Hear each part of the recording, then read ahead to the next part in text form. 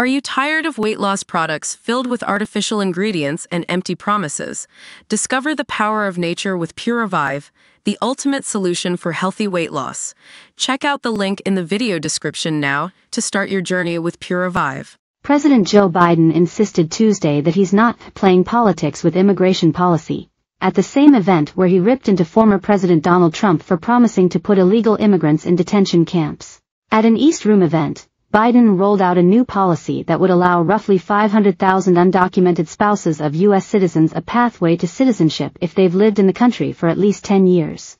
Biden suggested the election year move was happening this summer to prevent some of the deportations that Trump has pledged should he be victorious in the fall. When he was president he separated families and children at the border, Biden recalled. And now he's proposing to rip spouses and children from their families and homes and communities and put them in detention camps. The miffed Democrat continued, he's actually saying these things. It's hard to believe it's being said. He's actually saying these things out loud. It's outrageous, Biden uttered. Folks, I'm not interested in playing politics with the border or immigration I'm interested in fixing it, the Democrat added. Tuesday's announcement came after earlier this month Biden made a move to shut down U.S.-Mexico border crossings, by barring most migrants from being able to claim asylum if they came into the U.S. that way. That policy was more in line with what Trump has pitched. Since then, Trump has called it the Bulls asterisk asterisk asterisk, as much of the Republicans' campaign has been based on claiming that Biden has does nothing to secure the U.S.-Mexico border. At the same time, liberal groups weren't pleased with Biden's executive action since it mirrored a Trump-endorsed policy.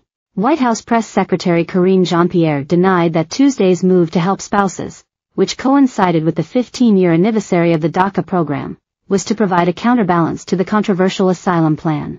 I wouldn't look at it that way, I really wouldn't, she said. We're seeing immigration policy that has not been revamped in some time and the president wants to address that, she continued. And we can do the EO and deal with border security, and also make sure that American families are not broken up. During the East Room event, Biden pushed that he could do two things at once, secure the border and provide a pathway to citizenship for some illegal residents. I refuse to believe that to secure our border we have to walk away from being America, Biden said. But I also refuse to believe that for us to continue to be America, that embraces immigration, we have to give up securing our border, he continued. They're false choices, the president added. We can both secure the border and provide legal pathways to citizenship.